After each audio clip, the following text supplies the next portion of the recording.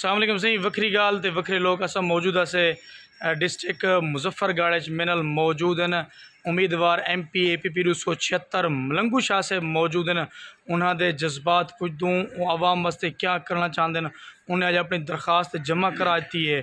کیلے plate form تو او election لڑسن آزاد لڑسن یا کئی جماعت دے تھرو لڑسن ویسے شاہ صاحب جڑا اپنا تعلق واسطہ ہے او جتوئی گروپ نال ہے او این حوالے نال کیا آخنا چاہ سن؟ السلام علیکم شاہ صاحب۔ السلام دن بھائی۔ تھے سی جی الحمدللہ۔ کیا محسوس کرنا پہ وے سر محسوس تو اچھا لگتا ہے کہ ایک موقع ملتا پہ اللہ کرے تو کو موقع ملے عوام دی خدمت دا۔ جناب بونی جتوئی گروپ دے حامی جتوئی گروپ دا حصہ تساں جتوئی گروپ تو ہی الیکشن لڑسو یا توڑے کو بے منصوبے ہیں؟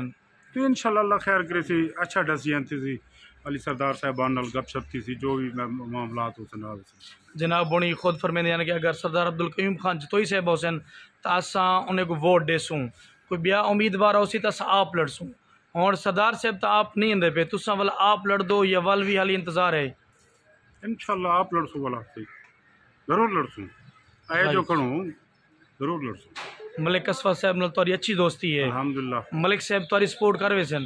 سر بالکل ملک صاحب بالکل 100 فیصد سپورٹ کر رہے ہیں تہاڈے علاقے شہر سلطان وچ ڈھیر سارے امیدوار آن یعنی جدوئی گروپ ہے بخاری گروپ ہے رو صاحب ہیں بلہ خان صاحب بھی ہیں بیا بھی امیدوار محترمہ بھی ہیں۔ تساں کیویں نہ لوگوں دا مقابلہ کرے سو؟ سر گزارش ہے کہ ساری چوتھی پوسٹ پالیٹکس سے چندی پیو سن۔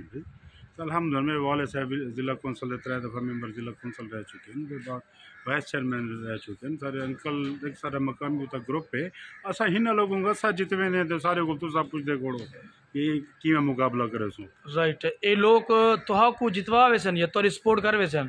لیکو جتوا ہونا اللہ تے اللہ دے بعد عوام نے تھی۔ باقی تے میں کچھ نہیں آتا تساں عوام کو اپنا کیا میسیج ہے سو؟ عوام کو میں یہ میسج دے ساں کہ او میرے نال باہم ملی بنو، خاص طور تے پی پی ڈی سو چھتر دے لوگ شہر سلطان دے لوگ کیونکہ میں انہوں دی آواز بن کے اندر پیا۔ اور میں انہوں کو یہ کو جاگ کہ او میرے باہم ملی بنو، کٹھے رل تے شہر سلطان دی، پی پی ڈی سو چھتر دی، جو بھی محرومی ہیں، جنہیں کہ آج تک سب کو ہمیشہ مل دیا ہیں، ان کو دور کروں اور اپنے علاقے دی ترقی، اپنے نوجوان آنے والی نسل، ہوں اگو تے گھن کے ٹروں بہت شکریہ۔